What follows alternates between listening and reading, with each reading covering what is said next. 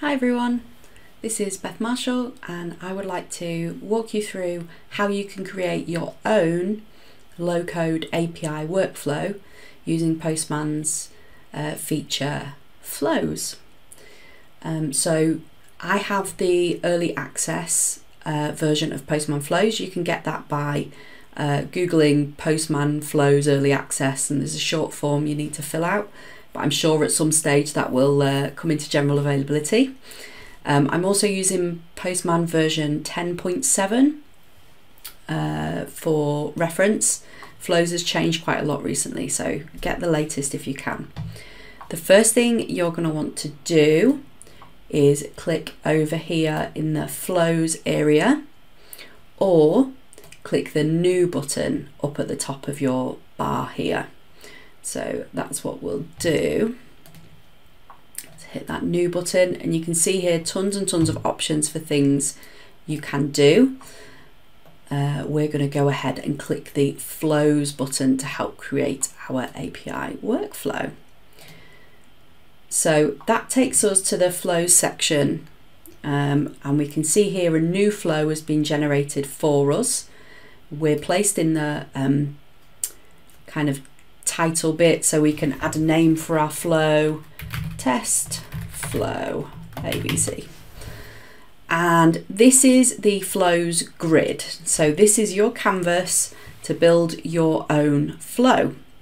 And you do that by using um, the three different types of blocks that you have in Postman, uh, a task block, a logic block, and a data block. I had to think about. Um, so what we're going to do is build a really simple flow to um, send a request and then log that to the console. So all we need to do, as it says here, we have the start button added in for us in the latest version. We just need to click this little noodle here and drag it to where we want it to be. So we're going to just drag it here and then it brings up the block selector so from here we can see all of the current blocks.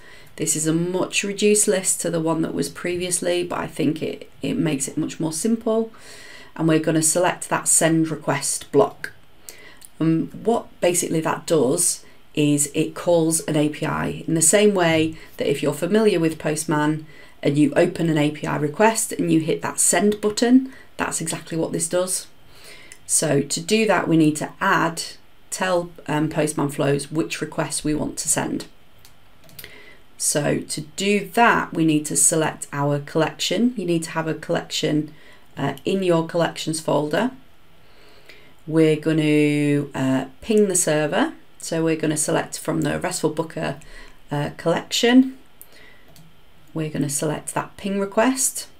And if you wish to, if you don't have, if you have environment variables set up, you can also choose the environment you want to send that through.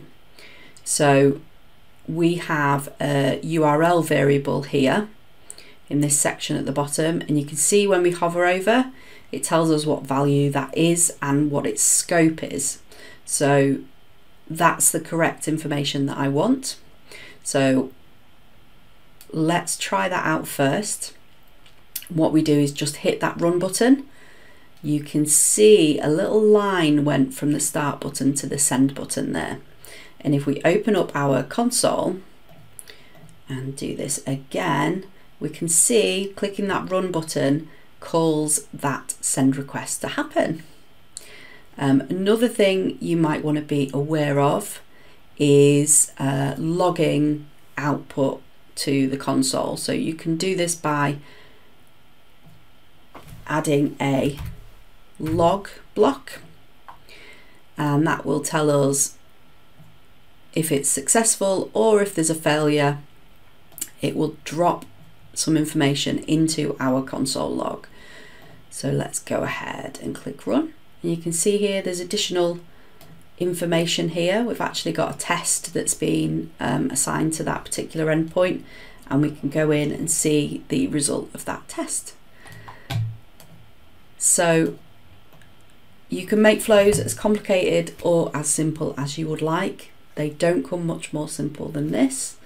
Um, and this is how you create a basic flow. I hope this has helped. Thank you. Take care. Bye.